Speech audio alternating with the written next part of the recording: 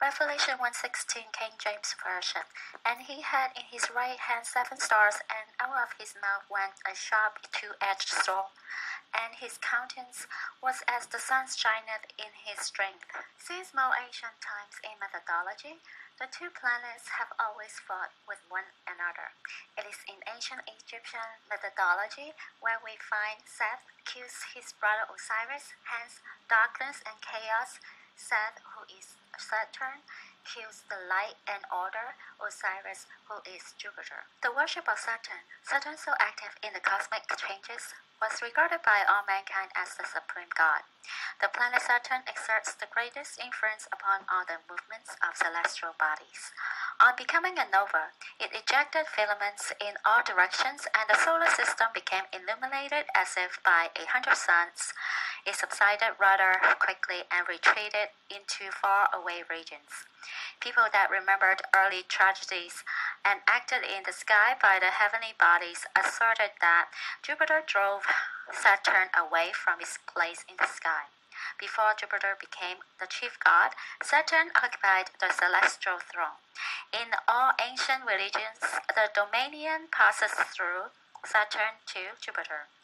In Greek methodology, Kronos is represented as the father and Zeus as his son, who dethrones him. Kronos devours some of his children. After this act, Zeus overpowers his father, puts him in chains, and drives him from his royal station in the sky.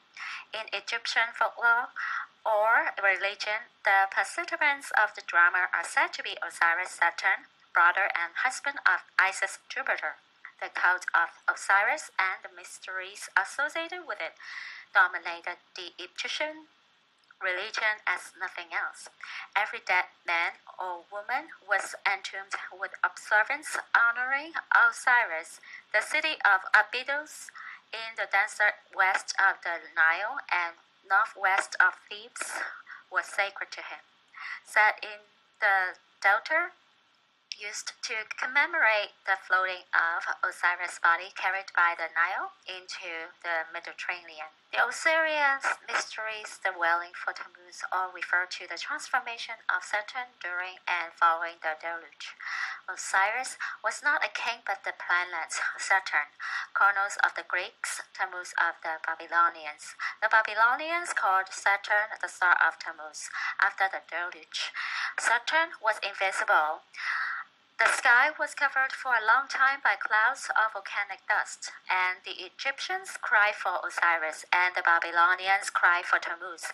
Isis, Jupiter at that time, went in search of her husband, and Ishtar, also Jupiter at that early time, went to the netherworld to find her husband Tammuz.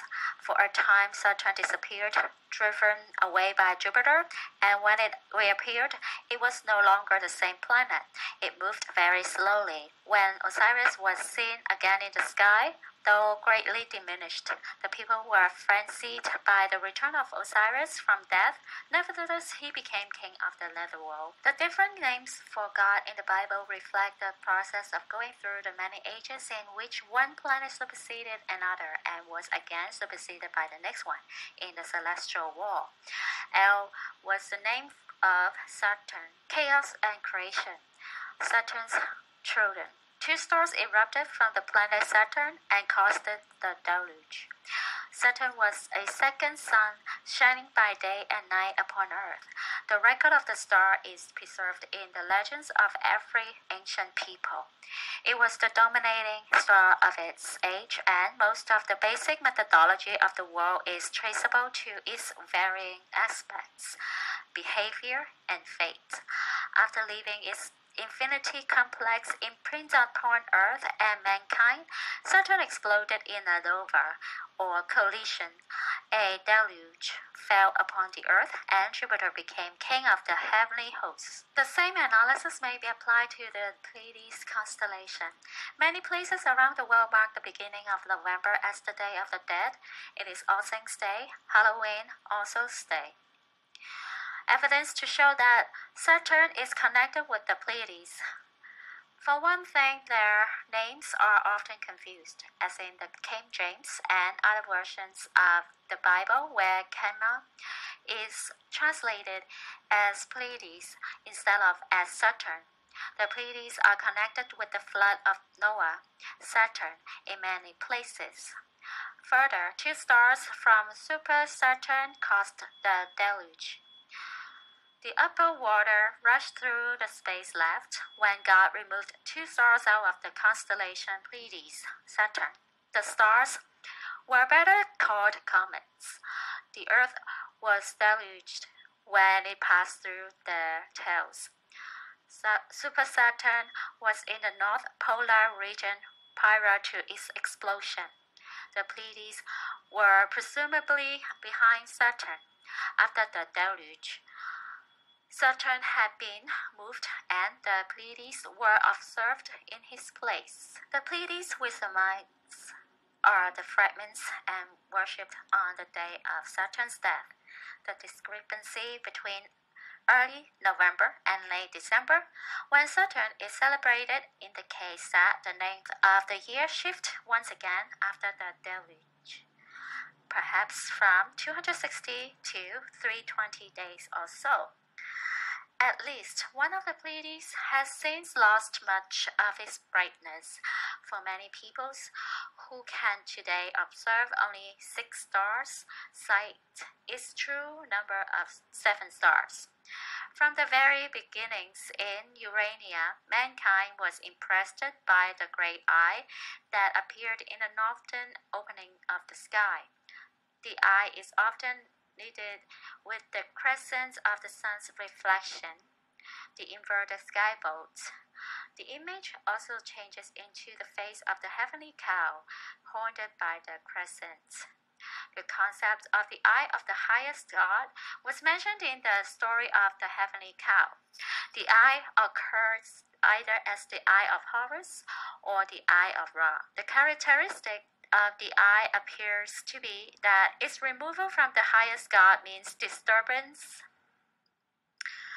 while its return means pacification and the restitution of order. Rick Lieberman, scientist in charge of the Yellowstone Volcano Observatory, deal with that. Rick? Thank you. Uh, this is a sequence of Yellowstone's geological behavior over the past 100 years. Okay, we go.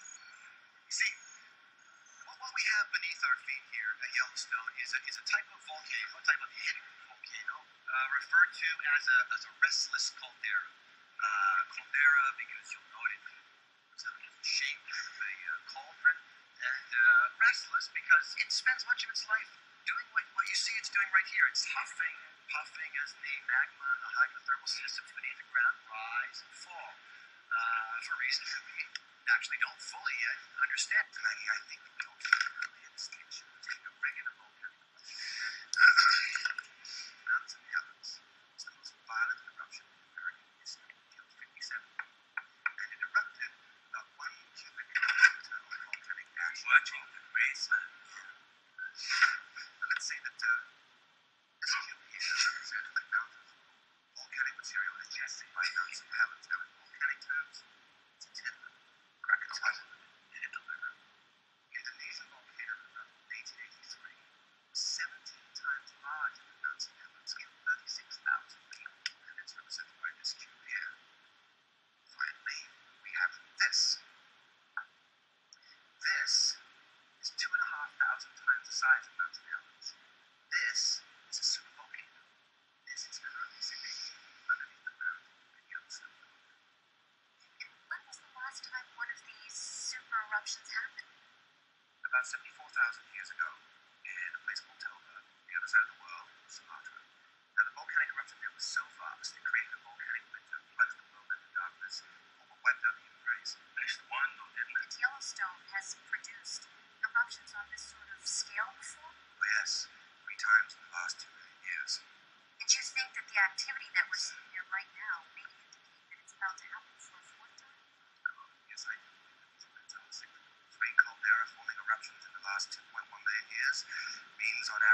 one eruption every 600,000 years, and we haven't had an eruption like that at Yellowstone for 640,000 years. In other words, we're overdue. Oh, yes. Oh, yes.